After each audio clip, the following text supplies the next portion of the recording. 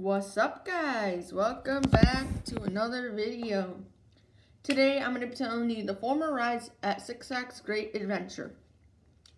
Six Flags Great Adventure is located in Jackson, New Jersey in the United States. I'm, I mean, I shouldn't say in the United States, but if you're watching from out of country, it's located in the United States. And it opened, this park was Six Great Adventure was founded um, in 1974. So, yeah, let's get right into it because this is probably going to be a long video. So, first up is the boats. Opened in 1976. I mean, opened in 1974, closed in 1974. Only lasted one year. A flat ride. It was paddle boats that guests were able to use in the lake. Next up was antique cars, as you guys, you probably know that. Opened in 1974, closed in 1975. And it was an antique car ride. Next up is Jumbo Jet.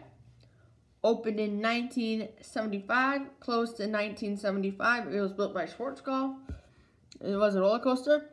It was built and tested only a few times before it was removed. It was is unknown as to why it was never opened to the public. So it didn't even open to the public.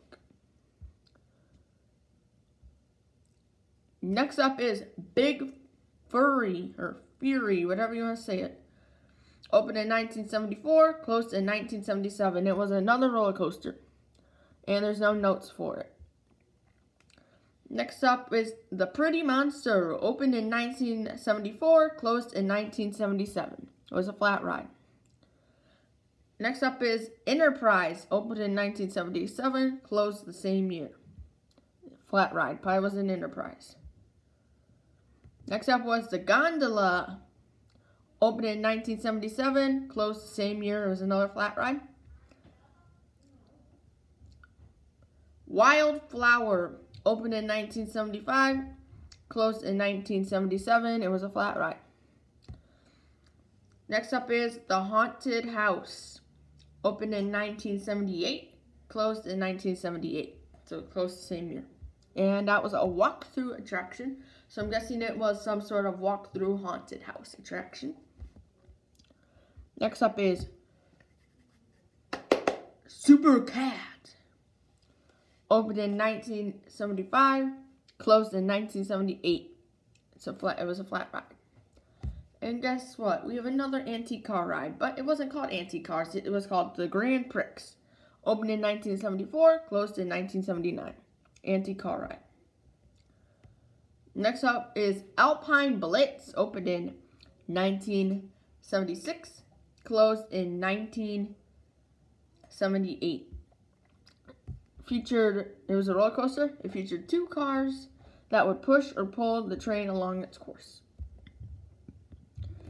Great Train Ride, opened in 1974, closed in 1980. It was a transport ride. Next up is the Wild Rider, opened in 1978, closed in 1981. It's a Schwarzkopf roller coaster. It has no notes. Next up is the Super Side Winder opened in 1976, closed in 1983. Chance Rides Flat Ride. Next up is The Screamer. Opened in 1976, closed in 1983. It was built by Millennia, Millennia or something, Molina and Sons. It was a roller coaster, children's roller coaster. Next up was the Haunted Castle.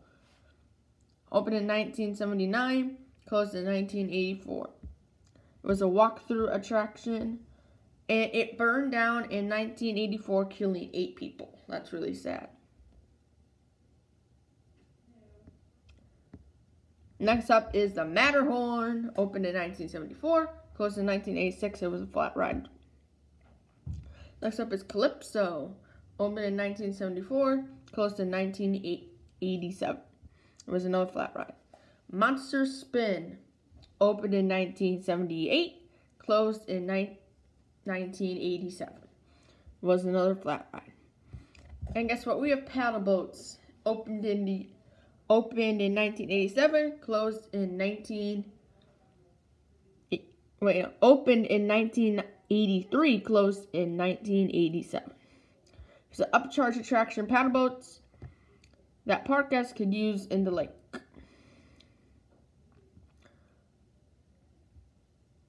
Next up is Scooter, opened in 1975, closed in 1987. It was a flat ride. It was a bumper car attraction. Next up is the Tilt-A-Whirl, opened in 1979, closed in 1987. It was your Tilt-A-Whirl style flat ride. Next up was Sarajevo Bobsled. Opened in 1984, closed in 1988. Built by Intamin. It was roller coaster. Was was moved to Six Flags Great America. It's no longer at Six Flags Great America. Then got relocated again. Next up is Ultra Twister. Opened in 1986, closed in 1989.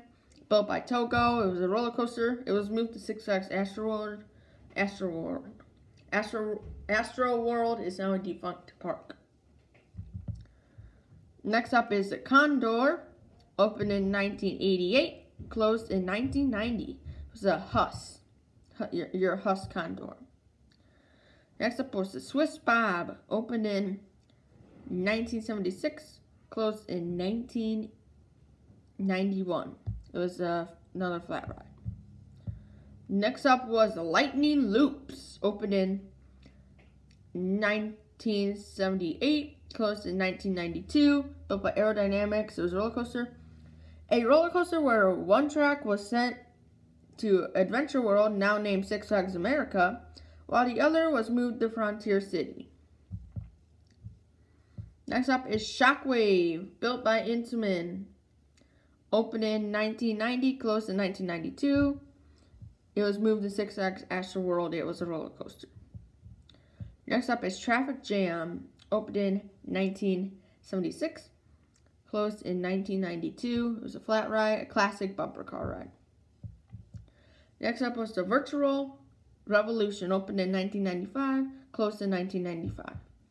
It was an upcharge attraction. It was a flight simulator. Paranormal Wheel, opened in 1974, closed in 1996. It was a Ferris wheel. African Tower, opened in 1991, closed in 1998. So Flat Ride was part of the Adventure River section, was removed to make more space for the mass amount of attractions to be added the following season.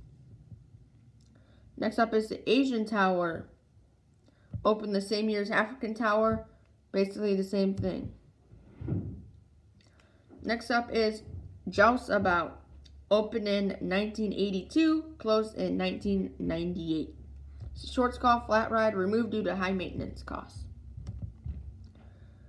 The North American Tower opened in 1991, closed in 1998. Was a part of the Adventure River section was blah blah blah blah. It was another tower for the, on the Adventure River River Rapids ride. Next up is the Spinnaker, opened in 1999, closed in the year 2000. It was a flat ride. Pirate's Flight, opened in 1999, closed in 2001. Another flat ride. Then you have the Switcher, Switch, Schwitzerbahn, opened in 1975, closed in 2001. It was a flat ride. Removed at the end of the 1986 season, but was added back in 1993. Next up was a scrambler. The scrambler opened in 1908, opened in 1978, closed in 2001. It was a flat ride. Slingshot opened in 2001, closed in 2001. It was an upcharge attraction. It was a trailer mounted attraction. Time Warp opened in 1999, closed in 2001. Built by Chance Rides Flat Ride Double Inverter.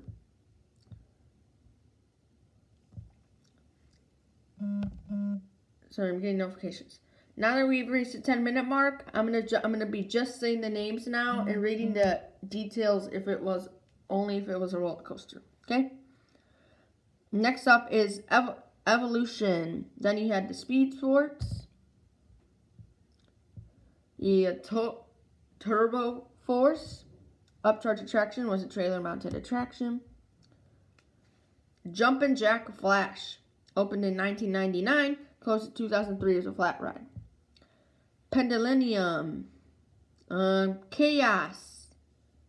Rodeo Stampede. Rotor.